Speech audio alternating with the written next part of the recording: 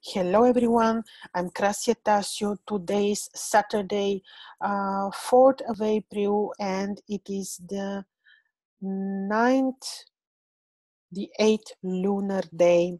And uh, saturday the day is ruled by saturn. Right now saturn is invisible. It is in the very last degrees of sagittarius sidereal and it's about to enter the sign of capricorn. When the day is ruled by saturn it's good to have this in mind because saturn is the planet which is giving us wisdom.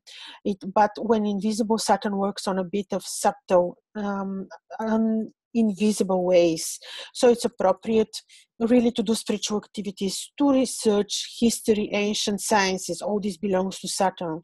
But we can do even some agriculture, uh, to do something in the garden, to plant uh, trees. All this is also ruled by Saturn. This is about Saturday. Uh, on the Sunday is uh, when it is will be the 5th of January, 9th lunar day. that they will be ruled by the sun, and then the moon is in a very powerful degrees of um, the zodiacal sign Aries these are degrees ruled by Athena Pallas. Uh, these are degrees for wisdom, for um, deeds which which are pure, white, helping others.